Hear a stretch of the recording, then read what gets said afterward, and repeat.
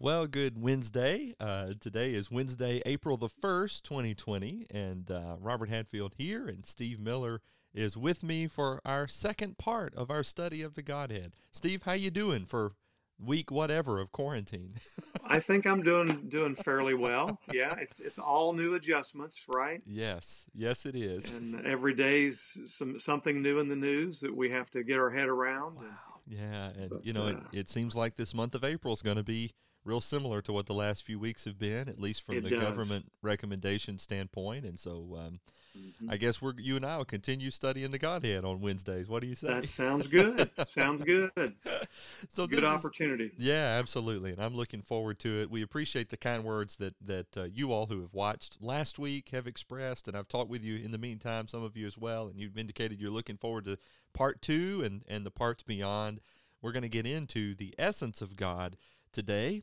But uh, first, we thought it would probably be good, Steve, right, to sort of review where we've been just to get us back up to speed because each session Mhm. will definitely build on the other, right? That's right. Good point. Mm-hmm. So last week we got into the fact that God has revealed Himself to us, and uh, we talked about His greatness. And one of the main things, one of the main takeaways was we can know God. God has made Himself knowable to us, Mhm. and we got into several uh, points about that. Not just nature, not just through the Word, but also through His Son Jesus Christ. Uh, remembering Jesus, you know, talking, if you've seen me, you've seen the Father.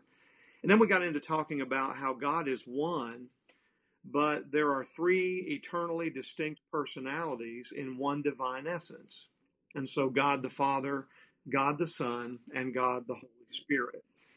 And we talked about the importance of the three and their relationship, their unity, their works. And uh, that's kind of where we began hmm for us to roll in today to uh, beginning in some of the attributes.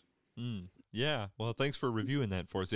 We we did cover a lot of ground last week, and We we, I don't even know that we scratched the surface, but just trying to give us some maybe simple and overarching biblical principles that'll help us to begin to get our minds around as much as we can what God Yeah. has revealed to us about who He is. Um, This is an overarching study. This is admittedly a very broad subject, and Yeah. uh, it, because of time constraints as well as just our own mental abilities, we'll only be able to cover so much of it at any one time. And we need to understand that this is an overarching study, and really, Yeah. if you're if you're contemplating any one aspect of who God is, really that's incomplete until you take into account all of who God says He is. hmm And I think that's an important principle as we proceed. Uh, there were some things in your research, right, Steve, that uh, maybe has come to the top that you wanted to share with us as we get going this week, right? I want to share a, a couple of quotes from uh, a book called Knowing God by J.I. Packer. And it's it's a great study, and um, it, it focuses along the lines of what we're trying to do. It's kind of an introduction, if you will. Mhm. And like you said, you could go down any of these paths, right, and and get into a lot uh, deeper study. But I want to quote him. He said, "What were we made for? To know God. What aim should we set ourselves in life? To know God. What is the best thing in life, bringing more joy, delight, and contentment than anything else? Knowledge of God." And there he quotes Jeremiah 9 23 and 24. This is what the Lord says Let not the wise man boast of his wisdom, or the strong man boast of his strength, or the rich man boast of his riches. But let him who boasts boast about this, that he understands and knows me. I thought that was a great verse to use there. hmm He said, What of all the states God ever sees man in gives God most pleasure? Knowledge of himself. And then he quotes Hosea chapter 6 and verse 6 I desired the knowledge of God more than burnt offerings, says God. Hmm. Wow. And so as we think about, you know, what were we made for? What's our purpose? What's going to help us in life? Obviously, a knowledge of God, you know, what we're trying to communicate in this. And, and one more quick one Mhm. that relates to what we're going through, I think, today. Packer says once you become aware that the main business that you are here for is to know God, most of life's problems fall into place of their own accord. Wow. And I thought, wow, that that really hits. You know, we're we're experiencing things in our lifetime right now that are kind of unprecedented. There's a lot of mm-hmm. fear. There's a lot of panic in places. A lot of uncertainty, but we can draw nearer to God, get to know God better, that's going to help us navigate life. That's right. Wow. And I thought he made a great point there. That's true. So it goes back to those two main questions that we mentioned last week. The two most important questions that anyone can answer. Number one, do I really know God? And then number mm-hmm. two, does God know me as his child? Mm-hmm. Uh, and certainly some really important things for us to consider as we think about number one, who God is, and then the mm-hmm. relationship mm-hmm. that God desires with us. Yeah. Well, there is a lot of comfort to the point that Packer made, I believe, in that quote you just read. There's a lot of comfort that comes to us in knowing who God is and mm-hmm. uh, in studying what He's revealed. And that's why we've chosen this as our topic of study for these Wednesday evening Bible uh, sessions, Bible studies together for the midweek Bible study. Maybe I should mention, by the way, for people who may be catching this on YouTube and aren't familiar, we're uh, Steve and I are ministers for the Church of Christ at Gold Hill Road in Fort Mill, South Carolina. It's northern, uh, central, northern South Carolina, uh, suburb of mm-hmm. Charlotte, North Carolina, and uh, so we're doing this specifically for our church family here. But if you're watching from someplace else, we're happy to have you as a part of the study as well. Mm-hmm. So today, Steve, we're going to talk about the essence and the attributes of God. We're really not going to get into the attributes very much, other than maybe to introduce, for the sake of contrasting that with what God's essence is. Mm-hmm. Um, and the way that I've summarized this in the past is to do it kind of in this way God's essence refers to basically his substance, who God is. And his attributes refer to his qualities, what it is that God does. And we can, you know, you can segment these attributes depending on who you read. They may segment these in different ways. Mm-hmm. You know, mm-hmm. some folks talk about the non moral attributes of God, like uh, God is omnipotent, uh, all, all, powerful, omnipresent, all uh, everywhere present, omniscient, all knowing. Those would be quote unquote non moral attributes of God. Mm-hmm. And then there are the moral attributes of God, like His holiness, His love, His justice. And it's out of those, of course, that the standard of morality by which we will be judged by God, uh, that those things flow. And so to understand that these things are really an aspect of the nature of God is important. God's not arbitrarily making rules for us. It's not that God likes to say, well, you know, today I'm feeling like thou shalt not murder, but I could change my mind later. You know, it's not that he drew arbitrary lines in the sand. God is just. God is holy. God is love. Mm-hmm. And other things we'll talk about later, the Lord willing. And because of that, this is things that are flowing from his very nature, his attributes, and therefore we are, if we will be godly people, to be like that. And so um, mm-hmm. God's essence, who God is, God's attributes, qualities, what it is that God does. Um, anything mm-hmm. really we need to add to that in addition to before we sort of get going with this study today? I think that's all good. And, um, you know, as you mentioned, I know a lot of the books you'll pick up, like a lot of systematic theologies, which yeah. is just simply studying doctrine by doctrine. Mm-hmm. You know, here's a chapter on angels, here's a chapter on um, the church. Here's a chapter on last things, which in the Bible is spread out all over different sections of Scripture. But a systematic right. theology would give the combine those all together, right? Yeah, collecting all the all the teachings and just studying that particular topic, which is so valuable. Oh yeah, you know, to, to get a grasp on a certain teaching. Mm-hmm. And I know a lot of those will use for the non-moral. They'll say that's incommunicable. Yes. And the idea is that you know God's all powerful. Well, I'm not all powerful. I'm not all knowing. I'm not everywhere at the same time like God is. And the other one is communicable where there are there is a measure of holiness, right? We we we can embody mm-hmm. love, justice, kindness, goodness, and um, but it, it's neat how you see a lot of those terms, and uh, you, you, know that's that's all that that's referring to. Yeah, back. that's right. Communicable things that we can do mm-hmm. uh, traits, characteristics of God that we can embody, albeit not perfectly exactly. as God does, right? But right. To to try to measure up to that standard, and then hmm incommunicable things that cannot be, so to speak, transferred to us. I'll never be everywhere present. Exactly. yeah. yeah. And wouldn't want to be, right? I no, no. we would want I- In fact, you know, it, it, think about it. We're watching the news feed so much these days, and you can get, you know, information overload is a real thing. You know, there comes a time I've got to turn it off. But uh. God doesn't get information overload, even though He knows every thought of every human being who has ever lived. You know, Yes. a running tally of the number of hairs on our heads, as Jesus would say. right. Um, that's amazing, isn't it? It is. And, and again, who God is, knowing Him and Him knowing us, and all of us going through different things all Yeah. the time. He's aware. He helps. He Mhm. assists. He, you know, uh, we just just amazing. Yeah. I was talking with uh, one of our sisters just a few minutes ago this morning, and she mentioned that during these times, a verse that's keeping her a lot of comfort, and I'll pass this along because maybe uh, it could comfort all of us as well, is Psalm 46:10. Be still and know that I am God.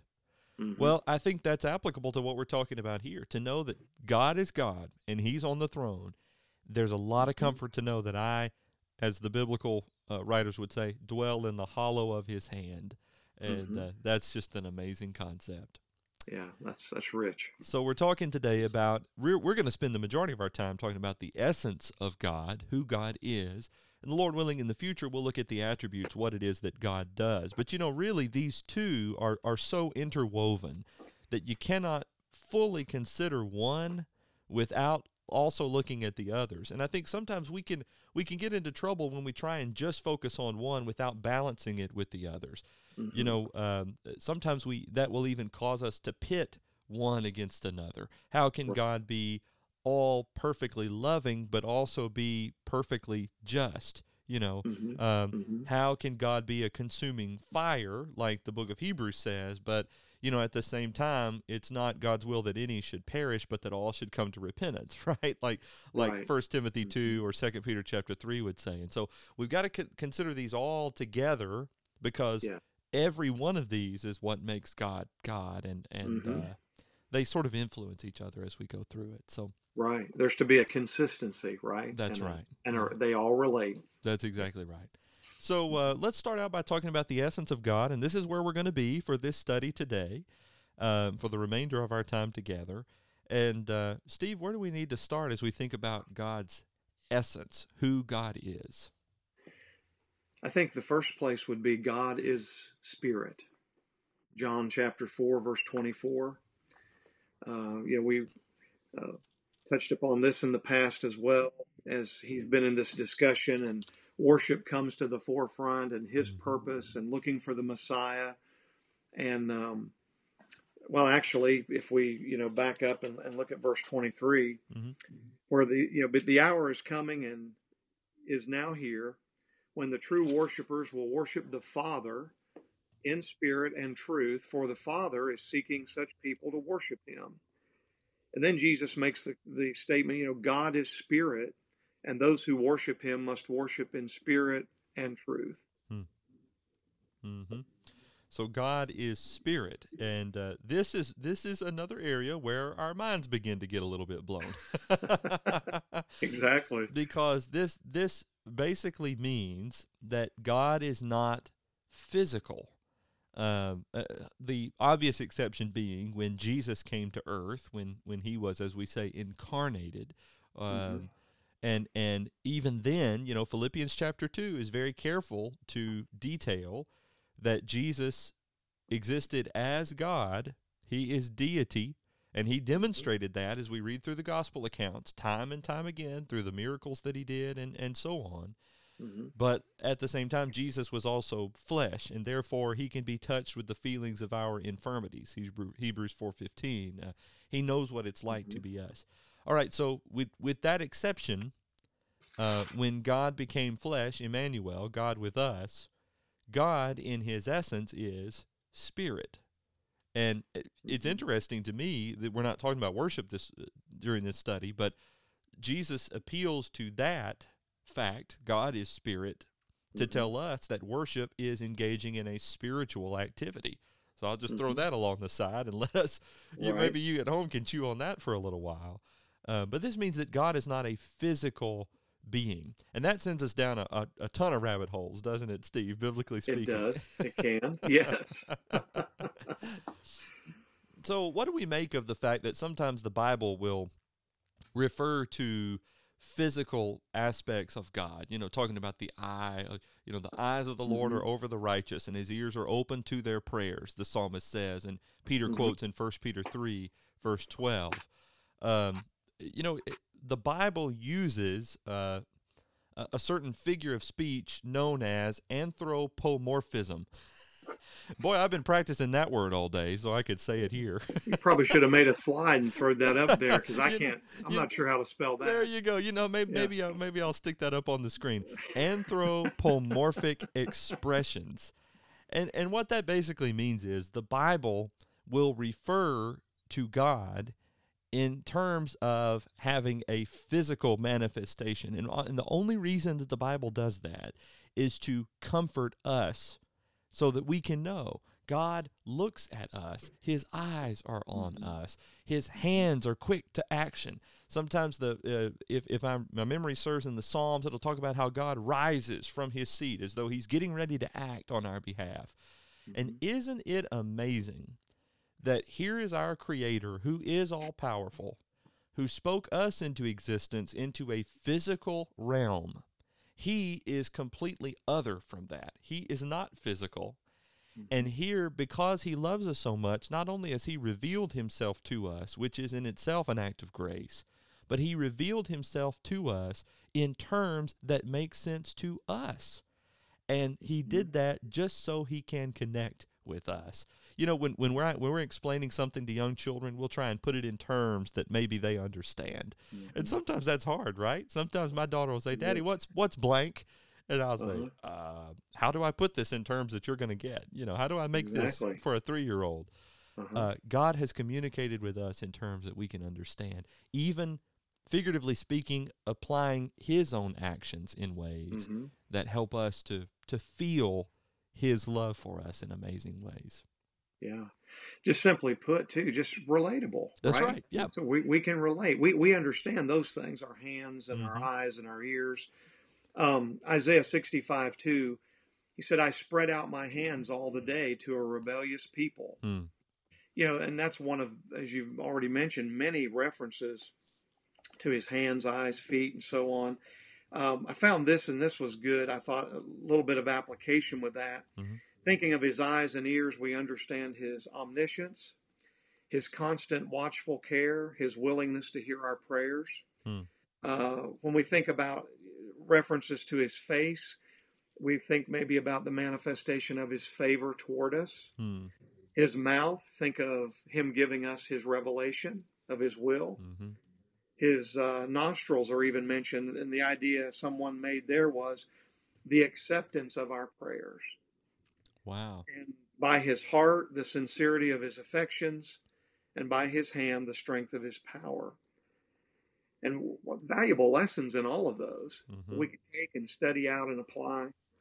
Uh, but again, being relatable, I think, in, to us in our minds. That's right. What's evident. So, as an example, just back to 1 Peter three twelve, quoting the psalmist, the eyes of the Lord are over the righteous, his ears mm-hmm. are open unto their prayer.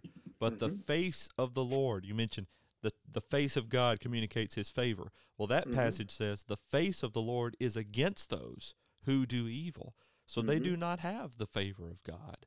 And you know that that helps oh, to round out, to apply, uh, to mm-hmm. relate that passage to us in, in some amazing ways. It does. Now, so then somebody might be thinking, okay, well, how do you know then that this is all figures of these are all figures of speech? Well, uh, first of all, John four twenty four says God is spirit.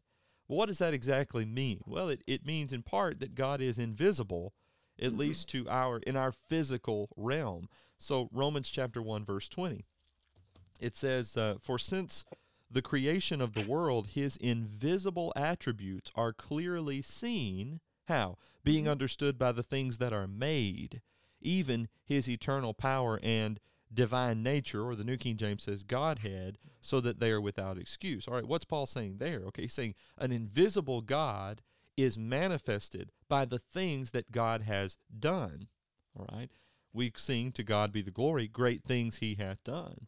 Mhm. Colossians 1:15 talking about Jesus says that he Jesus is the image or the manifestation of the invisible God, the firstborn over all creation. So it's no wonder that Jesus says, "Well, if you've seen me, then you've seen the Father."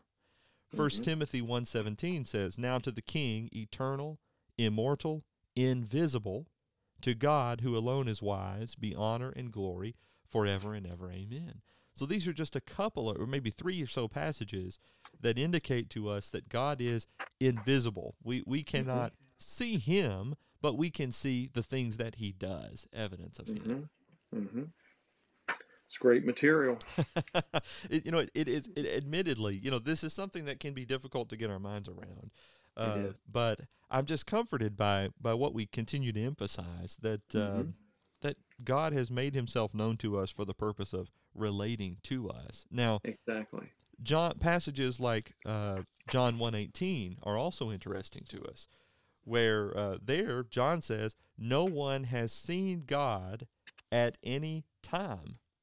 hmm the only begotten Son who is in the bosom of the Father, he has declared him.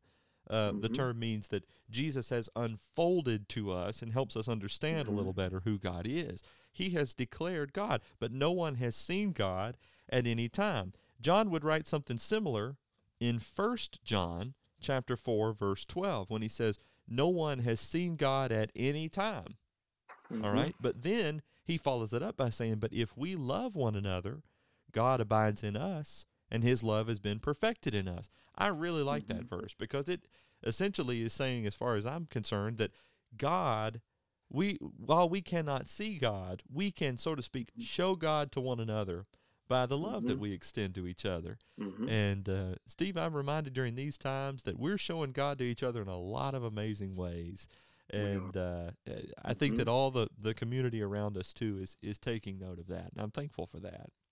And you know, tying in with that very thought, you know, in Matthew five, letting our light shine, Mhm. right? And and ultimately, we're trying to give the glory to God in the good works or the good deeds we try to do. Yeah, that's right. That's right. So that connects. And coming back to the, you know, God is a spirit, and you know, no way does the Bible just view God as some mere idea or some kind of an impersonal presence or experience, but Great point. He's an actual person who does speak. He loves. He expresses himself in blessings and in his wrath and, and all of these different ways. Yeah. Um, That's a great point. So, um, eh, I have had some people that have asked me some questions sometimes. All right, uh, so I hear John 1:18 and 1 John 4:12. And there are some other passages to which we might turn as well. Nobody has seen God at any time. Well, what about uh-huh. XYZ?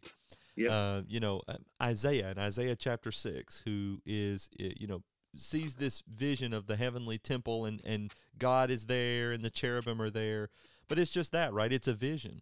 Somebody, some people Mhm. say, what about Moses, you know, who is up on the mountain and he asks to see God and God says, you can't, nobody can see me and live. right. But instead, you come to the cleft of the rock, and I will take my hand. All right, we've already talked about anthropomorphism. I'm going to take my hand, and I'm going to cover you, and then you'll be able to see my back. And you know, it, well, if God is spirit, what what what is the back? You know, What's- yeah. that? exactly. You know, we're talking about. I, I, I would liken these, and maybe this is overly simplistic. Um, and and if you're a, a Bible scholar, then don't uh, take me to task too much on this. but you know, I would liken this maybe to uh, the pillar of fire and the the the cloud of smoke, or to Mm. the uh, burning bush, uh, something Mhm. like that. God manifests Himself, and He has done so, especially in the past, in miraculous and in physical ways Mhm. for the purpose of communicating with his people in those specific times. But but the Bible continues to emphasize God is invisible. No man has seen God, and it's because of that then that, that I think we must conclude that people have seen in the Old Testament and New Testament times manifestations of God. Uh, they can see God in the sense of Mhm. what he does, but John 1:18 and 1 John 4:12 still says no person has seen God at any time. And by the way, think about it. Moses just saw a manifestation or or some kind of visual manifestation of the back of God. And you remember Mhm. when he comes down off the mountain, even that experience causes his face to literally glow, and it scares the people to death. You know, they Right. they make Moses go hide himself in the tent for a while until that wears down. Uh-huh. Yeah. So uh, it just tells us something about the amazing presence of God. It does. It does. And I think you the reference to earlier was Exodus thirty three twenty, Yeah, where Moses was told, you know, you cannot see my face, for no man can see me and live. And I think, as we mentioned earlier, okay, we have to find consistency, and uh, and you know, um, there's a there's a tie and a unity here with these verses that that you just explained. that's right. Yeah. And that's the thing, right? If we're going to take God's word, you know, I think that the Mhm. psalmist says the sum of your word is truth. And Right. so we're, we're gonna we're gonna look at what it says here and there, and Mhm. uh, try and bring those things together into a unity. I think that's Right. important. So uh, that's sort of th- the fact that God, in essence, who God is, God is spirit. Anything else, Steve? We need to add to that before we move to the next point of emphasis. Oh wow! Well, there's there's so many things we could could go down there and get into worship and so forth, but Mhm. I we'll we'll save that for another time. Okay, sounds good. So let's talk about then the personality of God and look at some of the personality traits as we continue to think about God's essence, who God is. Now, Mhm. some of these personality traits that we're going to mention will also give way into some of the moral attributes of God. And so, uh, Mhm. you know, an example we're going to give in just a second is that God is loving. God loves, but it also says that God is love. And so that that is both a part of his essence, who he is, but also a, an aspect of the moral attribute of God. God is Mhm. love, that's his essence. God loves, that's a moral attribute. So we'll we'll get Mhm. into some of that. And again, it, it kind of depends on who you read.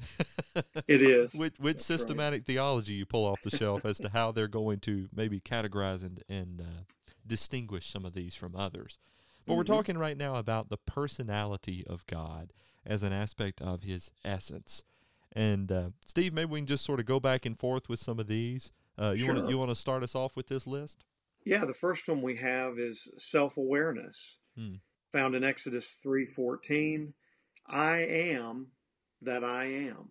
It's a powerful statement, isn't it? Oh, it is. And and again, these are some of these are literally lifetime statements, aren't they, that you Oh, just yeah. continue to think about and and you, when you hear it taught or preached on or studied or read something else or someone else has been digging around in that again new new thoughts you know Mm-hmm. new new things come to surface that you hadn't thought about before Right. Uh, a unique phrase, yes, that, that certainly refers to the self awareness of God, the fact that He is. And of course, you Mhm. know, Jesus in John chapter 8, I think it is, right, will use that same phrase. Before Abraham Mhm. was, I am. Man. Mhm. And when he said that, th- his audience, the Jews, immediately knew what he was claiming. He was claiming equality with the great I am, going back to Mhm. Exodus chapter 3. He was Right. claiming to be God. That is Uh-huh. a vital part of who God is. And you say, we, we could, boy, we could do a whole quarter, I guess, on I am Oh. that I am. That's huge. Yeah. And earlier, the references, you know, where Jesus stated, if you've seen me, you've seen the Father. Yep. That ties right in with that as well. That's right. What you said in John 8. Mm, yeah, Yeah. that's true. All right, in the second place, we could talk about God's intellect. God knows. Uh, he said of Abraham in Genesis eighteen nineteen, I have known him or chosen him, the ESV says, in order that he may command his children and his household after him, to, that they to keep the way of the Lord to do righteousness and justice, that the Lord may bring to Abraham what he has spoken to him. Uh, he says, Yeah, I know, I know Abraham. Uh, I know Mhm. him. We could go to Exodus chapter 3, verse 17 again. Um, I have said, I will bring you up out of the affliction of Egypt to the land of the Canaanites, the Hittites, the Amorites, the Perizzites, the Hivites, the Jebusites, to a land flowing with milk and honey. Well, here was God claiming he was aware of the things that his people, the children of Israel, were going through in their Egyptian bondage, and he also had a plan for them. I could come over to Acts chapter 15, verse 18, where I'm just going to uh, lift the phrase for now, and we can establish the context maybe at some other time. But the text says, Known to God from eternity are all his works. So Mm-hmm. so God has the capacity to know. And this I think speaks, Steve, to what you were mentioning a little bit earlier as well. You know, we, we shouldn't just think of God as a, a force. Uh, we should think of God as a person, as a Mm-hmm. being who is, as we've already mentioned, self aware and also has the Mhm. capacity of knowledge. And of course, he is omniscient. He is all knowing. Where Mhm. else do we need to go on this list? The capacity to love, of course, this one would be at the top of a lot of people's lists. And you think of John three sixteen, God so loved the world, uh, and we just, you know, again, that's a whole lesson in and of itself. but having the capacity to do what we are in need of, you know, we're in need of being saved, in need of a Savior, of forgiveness, and certainly God has demonstrated that, and and that's a kind of a step off from John three sixteen, right? To, to save the world, to save man, uh, those that would be obedient to His will. Connected with that's First John chapter four, beginning in verse seven, and tied in with John three. Beloved, let us love one another, and also John thirteen, right? You know, Yeah. uh, thirty four and thirty five. Beloved, let us love one another, for love is from God. And whoever loves has been born of God and knows God. Anyone who does not love does not know God, because God is love. In this, the love of God was made manifest among us, that God sent his only Son into the world so that we might live through him. In this is love, not that we have loved God, but that he loved us and sent his Son to be the propitiation for our sins. You talk about a, a whole systematic study is right there in those verses, right? Yeah, you're exactly right. Reminding us God is love, and this is where this all issues forth. And you mentioned earlier about our application of doing good. Mm-hmm. That stems all the way back to God is love, right? Hmm. And that attribute that He exhibits. That's right. All right, so God loves, and then God Mhm. certainly has the capacity of sorrow. I Mm-hmm. look to uh, Genesis 6 6, perhaps most notably, the Noahic flood. And uh, as all this is beginning in terms of the narrative, we read that the Lord God regretted, the ESV says. Um, the New King James says that he was sorry that he had made man on the earth, and he was grieved in his heart. Um, you know, again, we've got some anthropomorphic phrases that are being used here the heart of God.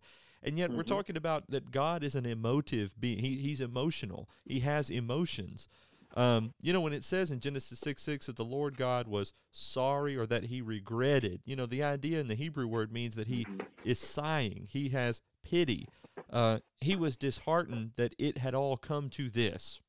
And so we're going to see some justice, some justice of God that is uh, exercised on the part of those who are wicked in the flood.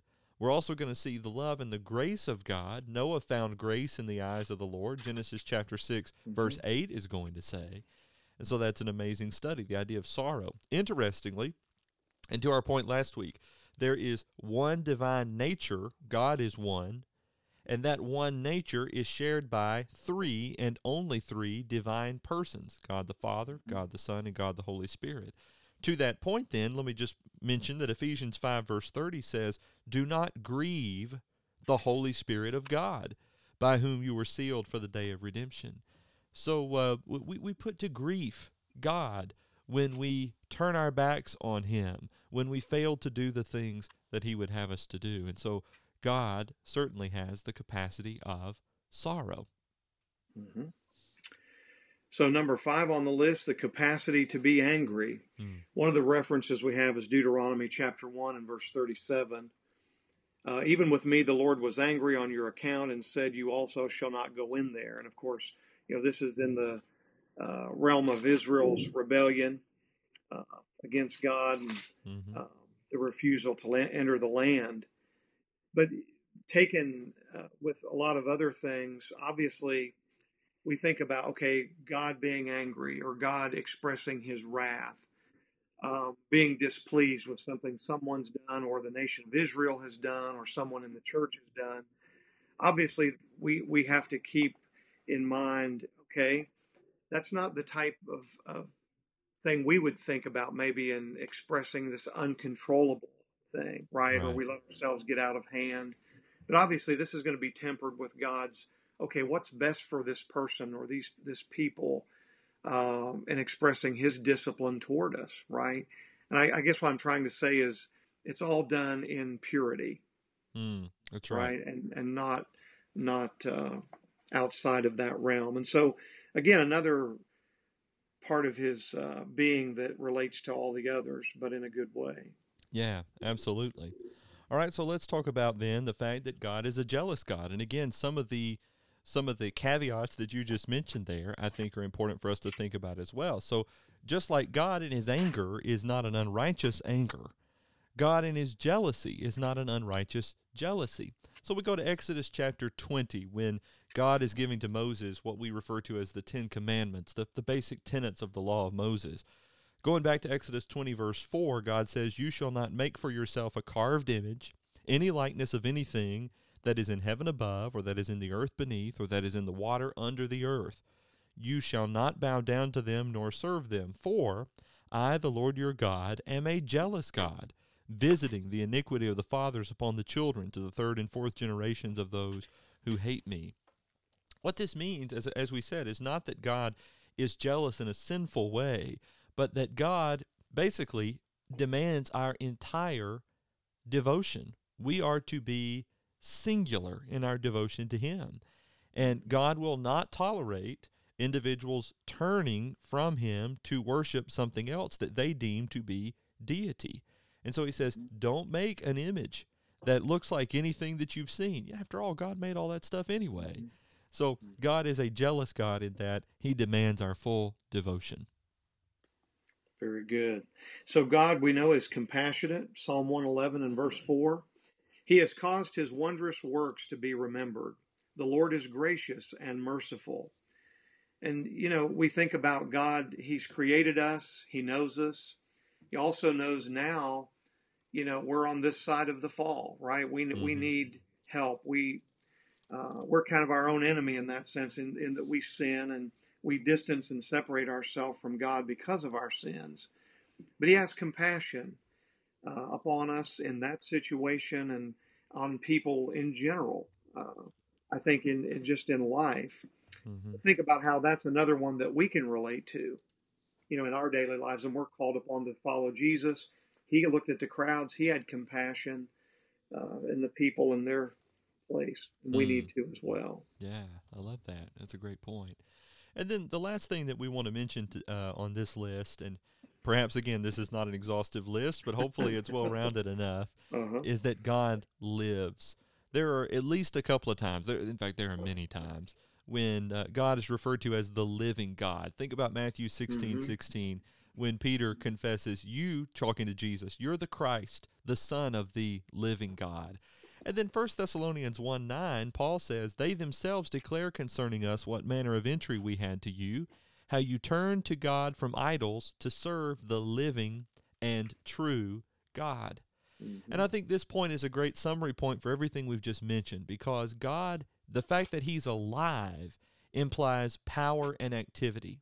He is mm-hmm. not, as we've already mentioned, just an influence or a force you know, we're seeing this a lot in our day. People say, well, you know, ask the universe for this or that, or send mm. positive vibes my way. Listen, I got something better than positive vibes or some inanimate yeah. universe. We have yeah. a God who lives, the God mm-hmm. who lives. And therefore, God is incomparable to any other idol, uh, to any idol, I should say, not another idol. That would imply that God is an idol. No, to mm. any idol or to any image. Paul says in Acts 17, 24 and 25. Now remember, he's Paul's standing at the Areopagus in Athens, Mars Hill, as the King James mm-hmm. Version had it. Mm-hmm. And he's surrounded by all of these other structures that have been erected to various quote unquote deities, to a little g God. Mm-hmm. In Acts 17 24, he says, God, now talking about the one true God, who made the world and everything in it, since he is Lord of heaven and earth, does not dwell in temples made with hands, nor is he worshipped with men's hands as though he needed anything, since he gives to all life and breath and all things. God is mm-hmm. alive, and life itself comes from Him. And uh, Mhm. as we're considering the points that we've made so far about the personality of God, He's self-aware. He knows. He He is loving. He can be, uh, has the capacity of sorrow, anger, jealousy, compassionate. He's alive. He is not merely a force. He is a being. He's a person, and Yeah. uh, I think that's vital for us to consider. It is. It is. What a list. Right? I can't believe we just covered that in the amount of time that we did. I know, but it, thankful we've had that opportunity. yeah, that's But right. God is self-evident, as we've mentioned, and you know He's not dependent upon any outside factor for His existence. hmm Think of that. You know, He's the uncaused cause, Wow.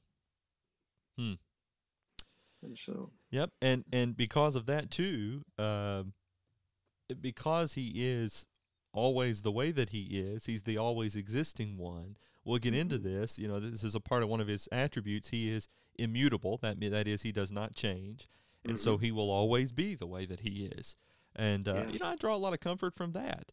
Um, Mhm. e- Even like the coronavirus and things like that, those are not a result of God changing his mind necessarily. That is to say, uh, becoming someone different than who he was.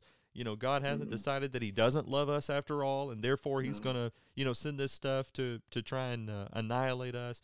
It, it is out of love that God does the things that He does, as well as justice and Mhm. other things. And so, hmm maybe that's something worth considering. And then For we sure. want to talk about the fact that God is eternal. God is Mhm. eternal.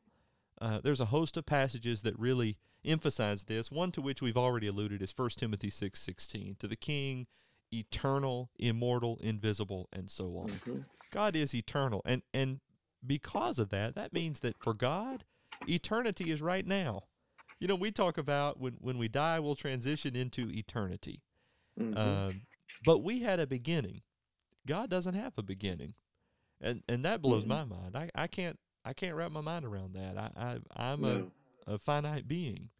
You know, there's there is certainly my spirit will continue to exist from this point forward endlessly into eternity. Mhm. Although my physical life, my physical body will not. But there was a beginning for me. You know, I can go back to my Mhm. birthday. Yes. and and even beyond that, as we would think in terms of uh, uh, you know when life begins, and those are Mhm. things that we can think of. Those are concrete numbers. But God is eternal, and and because of that, that means that God God doesn't exist in time like we do. Right. And what that means is that past, present, and future are really things that are only in relation to us. And God, God sees it all, and and how Mhm. exactly He does that. You know, I like to think of it maybe as like a timeline or something. But you know, the scriptures indicate God God knows the end from the beginning. I mean, He knows Mhm. exactly how everything is going to turn out Mhm. before. He's aware of past, present, and future. Um, and Mhm. that's why we can say things like the sentiment of that old song many things about tomorrow I don't seem to understand, but I know who holds tomorrow, and I know who Mhm. holds my hand. Uh, Mhm. God, in His essence, is is eternal. Yeah. That's great. hmm And then finally, God is immense and vast. Wow. One of the passages, Jeremiah twenty-three twenty-four, Can a man hide himself in secret places so that I cannot see him? Hmm. Declares the Lord. Do I not fill heaven and earth? Declares the Lord. Hmm. Uh, and again, that's a, a great lesson in there. You know, we can't hide from God, uh, but He's all all knowing, and just thinking about how vast uh, His creation is, and that He's all a part of that. Right? He's all all over that. Yeah. Immeasurable. Immeasurable. Mm-hmm. Yeah. Yep. And so, uh, yeah, as you mentioned, that means He's always with us. Uh, Yeah. That that means you know, like I think about uh, the psalmist. Where can I go from Your presence? You know, if I Right. ascend to the highest peak or descend to the lowest point of the earth, You're there. Um, Mhm. Vast. Once again, beyond our Yeah. comprehension. yes. Exactly. But comforting nonetheless. Uh, right. And, and that's and the faith point. faith building. Yeah, Yes. and that's the point. Uh-huh. To know that I am, as we said, dwelling in the hollow of His hand, Mhm. and uh, through these times and through any other times, uh, I'm with Him, and so long as I'm with Him, we talk about uh, God being on our side, and I understand what we mean by that. But really, I want to be on God's side. God doesn't move. Yes. And so I, I go with God wherever God leads and, and wherever God Mhm. wants me to be. And when I do that, I know that I have all the comfort of this being that we have tried to describe in his essence today a spirit, a personality, uh, who is Mhm. self evident, who is eternal, who is immense, who is vast. And as we mentioned at the beginning, every one of these is really connected to every other aspect of who God is. We've talked about the essence of God today, and the Lord willing, Mhm. we'll we'll pick up next week. And really, we've only we haven't even scratched the surface of the essence of God. No. And uh, what we'll do next week, the Lord willing, is begin by talking about some of the attributes of God. And I think we're going to Mhm. start maybe with the non-moral attributes, and Mhm. uh, go from there. Steve, as we as we close out our our study today, uh, what what do we need to say, just in summary or or in conclusion for our day today? For our lesson today, Yeah. and just how um, again we need to use this time you know many are have schedules that are not normal now um, it's a great great opportunity to apply the fact that i want to know god more and and remember he is spirit and remember some of these teachings and and spread out from them there's many many more as we mentioned that are connected and hmm and just get to know god in a deeper way Yeah, because right. it will help us through troubled times And and what a great time maybe to to chase some of those rabbits of curiosity that you've got. You know, where yes maybe our Mhm. schedules are a little clearer than they than they typically have been. And you know, to spend that time drawing closer to God. Draw near to God and he'll draw near to you, James chapter That's four, right. verse eight says. And Mhm. that's just an amazing thought right there. it is It is humbling to consider how great God is and to realize that he's certainly worthy of our praise, of our devotion, of our glorifying him. And uh, Mhm. I'm just so thankful to serve this great God with the people with whom we get to do so, especially here at Gold Hill. too. And uh, I'm reminded, you know, I, I see God in them, as 1 John 4.12 says, because of the Mhm. love that they show to me and that we're showing to each other during these times. And my prayer, I know yours is too, Steve, that this has been an encouraging study for, for everybody. Yes. I pray that it has been. Yes, sir. Well, shall we conclude with a word of prayer? Please do that. All right, let's do that. Let's pray together. Our Father, we are honored as we contemplate the greatness of who you are, as well as uh, the greatness of Jesus the Christ and of the Holy Spirit. Father, we are humbled that uh, beings so great and vast, eternal and all knowing as you are, would then show such love and mercy and grace and kindness to beings such as we are. We thank you, Father, for life itself. We thank you that you're caring for us and our needs. Father, we find ourselves in the midst of unique needs during this particular time of life. We pray, Father, for the wellness and good health of all of us, as well as that for our neighbors, too. We pray for those who have been affected by the coronavirus. We pray for those who are helping those who have been affected by the coronavirus.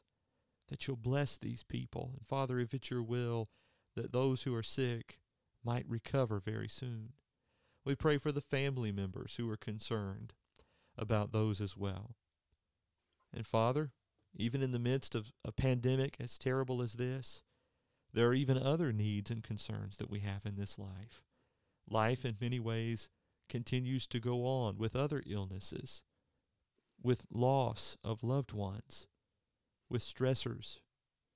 Father, we pray that your peace will rest upon all of those, all of us, as we try and grapple with new normals, with uh, quarantine, isolation, with the demands of life, that we will be wise, that you'll give us that wisdom, that we will be safe, that we will be comforted as we rest in your care. Father, we thank you for the church. We thank you for the congregation that meets at Gold Hill Road. We pray, Father, for our shepherds who watch for our souls, and for every one of us that we can shine the light of Jesus to our friends and our neighbors during these trying times. We're thankful for our study together today and for everybody who's participated in this study. We pray that we can draw near to you in full assurance that as we do, you'll draw near to us. For, Father, we need you more than anything else. Thank you for revealing yourself to us and delineating for us the way by which we can be at peace, reconciled with you. In Jesus' name, amen. Amen. Steve, I appreciate you. Thanks for our I study I appreciate together. you. Thank you. And thanks Yes. all of you for joining us as well. We'll be here next Wednesday. Once again, we'll release our next video.